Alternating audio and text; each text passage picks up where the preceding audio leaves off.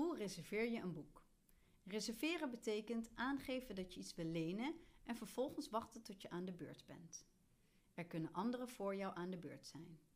De leerling zoekt via de Schoolwise portal een titel op, bijvoorbeeld via de zoekmachine of de ontdekcatalogus.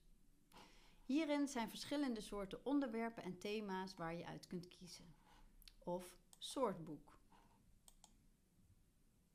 Hier zie je de resultaten die te vinden zijn in jouw school. Maar je wil reserveren, dus je klikt op in de bibliotheek. Je klikt op de titel detailpagina en vervolgens op reserveer. De leerling kan bij mijn gegevens zien welke exemplaren er gereserveerd zijn op school. Ook kan je het boek op je verlanglijst plaatsen of een vriend hierover vertellen. Hieronder kun je het sterretjes geven en je mening over het boek opslaan. Vervolgens kun je bij Waar is het nog meer zien waar het boek allemaal aanwezig is. Hieronder, waar geen groen vinkje voor staat, zie je waar het is uitgeleend.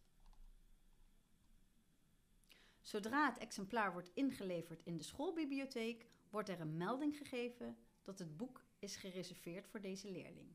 De leerling krijgt in de portal een bericht dat de reservering klaar staat.